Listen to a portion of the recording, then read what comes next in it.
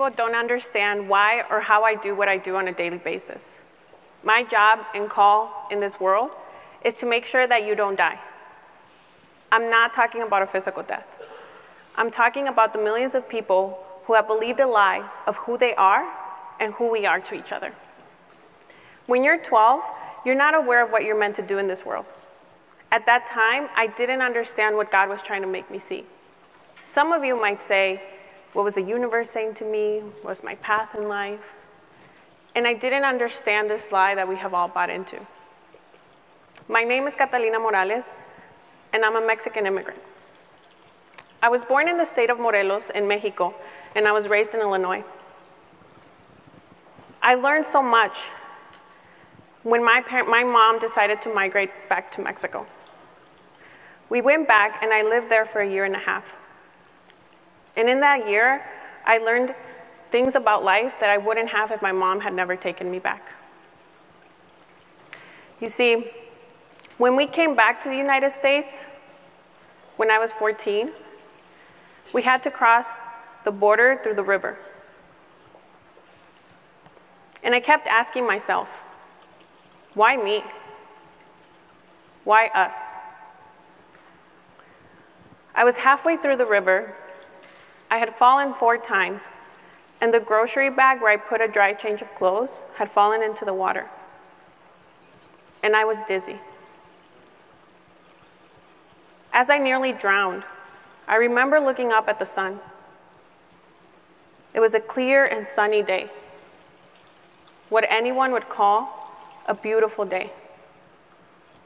And I remember asking myself, why is it that I don't get to cross this border like everyone else?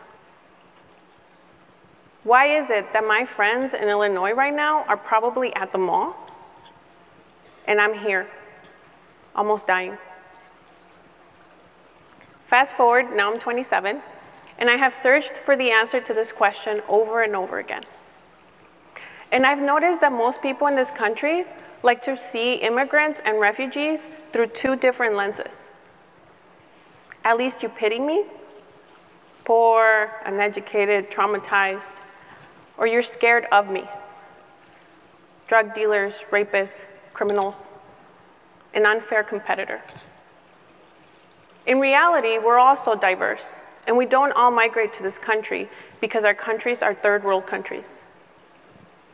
In 1994, when my parents migrated to the United States, they weren't fleeing violence, and they didn't want to stay here.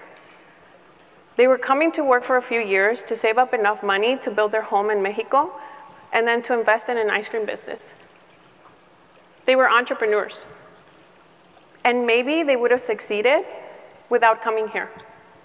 But there was a lie they believed. A lie that maybe many of you here still believe in. The American dream.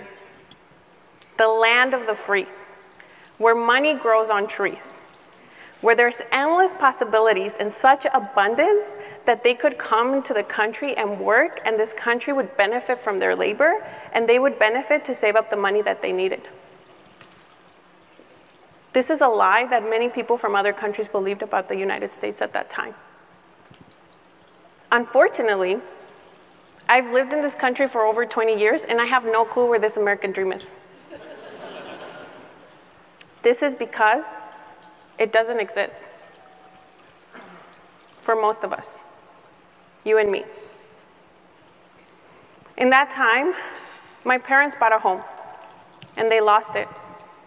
They worked three jobs to pay for this house and they couldn't declare bankruptcy because undocumented immigrants aren't allowed to declare bankruptcy. At the same time, they got a divorce and my mother became a single mom. She lost her job because of NAFTA, the North American Free Trade Agreement. This agreement between Canada, the US, and Mexico was advertised in Mexico as the thing that would put the country on the map. It would create jobs and investment into the country. The reality is another story. In the US, it created the conditions for what happened in Flint, Michigan. It decimated the middle class. But what people don't understand is that it also decimated the middle class in Mexico.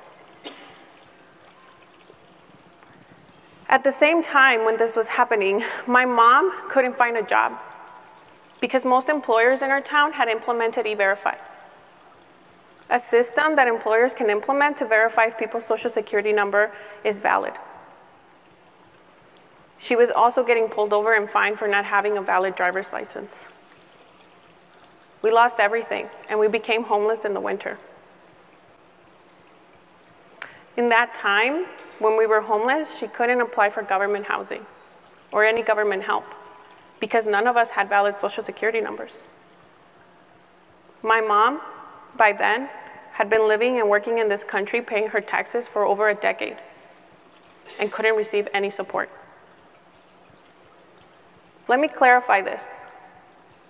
The most prevalent lie about us immigrants in this country is that we play the system, that we rip off the government and our neighbors. This is the lie that is told, while the truth is that the US government has refused to provide my family and other undocumented immigrants a valid social security number. But they do provide us an ITIN number that allows us to pay taxes on the work that we're not legally allowed to do.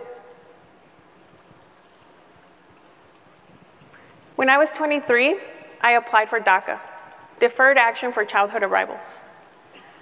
At that time, I was working three jobs that really didn't care if I was there or not and I had been trying to get into school.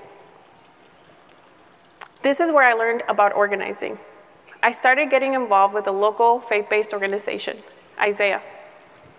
They came to my church and talked about faith and justice.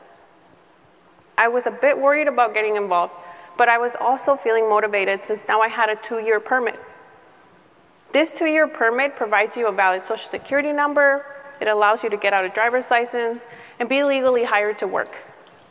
As long as I didn't find myself in any legal trouble in those two years, I could apply to renew the permit, pay the government again, and then if they approved it, I was set for another two years.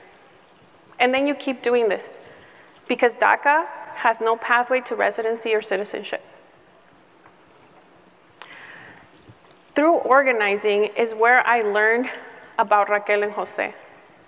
You see, my job as an organizer is to go into the community hear people's stories, find what motivates them to keep going, and then from there, fight through a path of dignity so that they can fight for their own rights. Raquel and Jose had been living in the country for over 20 years. She's from Mexico and he's from Honduras. Now, Raquel and Jose, when he arrived to the country, he was struggling with alcoholism. He ended up getting two DUIs, and because of this, had to constantly go into immigration check ins. 20 years later, he was a father with two U.S. citizen children, a homeowner, very involved in his church ministries, a business owner, and a recovering alcoholic. After this past election, immigration called him in and told him that they were going to deport him. Raquel tried to move mountains to stop his deportation, but nothing worked. He was deported this last September. In Honduras, there's a civil war happening right now. Not a place you want to send your children. And it isn't Raquel's home country. His mistakes from 20 years ago are what counted in the end of the day. I kept asking myself, what would have stopped his deportation? What kind of campaign could I have developed to stop this type of separation of families? And one thing was clear we start talking about immigrants too late in the story. Not immigrant story, this country story. You see, I noticed that this country does a really good job talking about immigrants as if we're a distant relative or an in law. And what we need to do is to start talking about why we migrate here in the first place. The reason I say this is because many countries, like Mexico, have high numbers of people that migrate to here, to this country, because of this country's involvement in our country's politics and policies. Don't get me wrong, I'm not letting my country of origin off the hook when I say this. But what I am saying is that this US government would owe us too much if they admitted to this. People say, go back to your country, stop taking our jobs. But what they don't see is that I was forced into this country. My parents might not have migrated here because they were fleeing anything, but I did. When my mom took me back to Mexico when I was 12, she couldn't find a job. Factories were paying people $40 per week because of the NAFTA agreement, and still are. I saw the level of poverty this had created.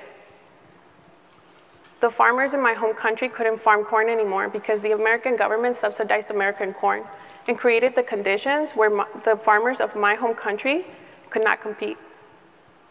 They could no longer feed themselves or their families. My mother couldn't see a future for me in Mexico anymore, and this is why we came back. When NAFTA was signed, it created open borders. But for who?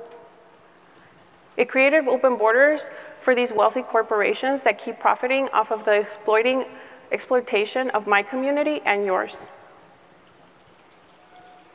How is it that these corporations with billions of dollars can set up shop wherever they please?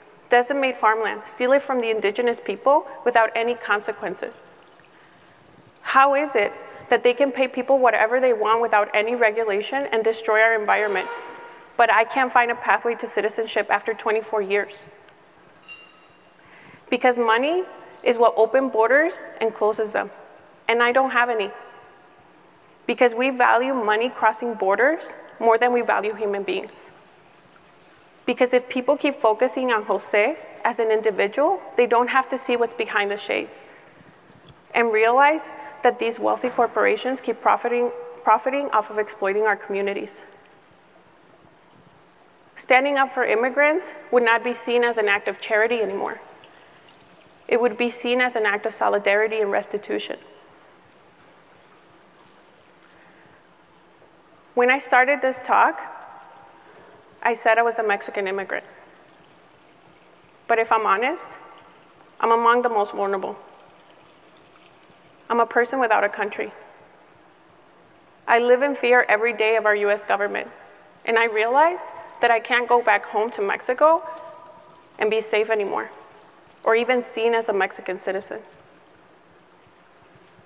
The leaders of Nazi Germany blamed Jews for the lack of job opportunities jobs, and poverty.